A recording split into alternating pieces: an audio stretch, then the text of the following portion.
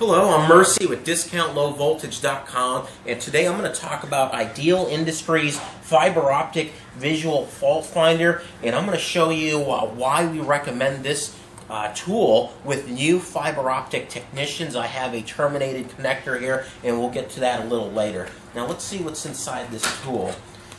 Um, obviously, what comes with the kit, we have an operator's manual, and the tool itself here it is. It uses two AA batteries. You have a screw on, screw off bottom.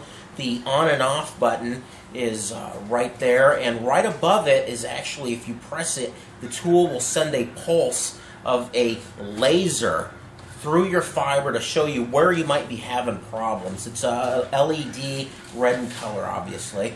And let's turn that off and let's see what else is included in this clip. Looks like we have a strap and you also have a kind of a cell phone uh, type clip and you have a nylon carrying case so you can just throw it, you know, on the belt and it'll come in handy. Now let's go ahead and attach this connector to the fault finder.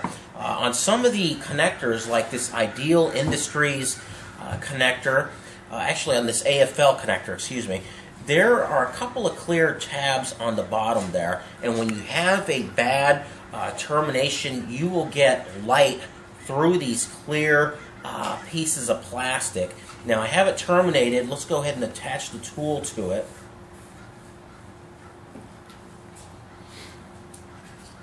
Okay.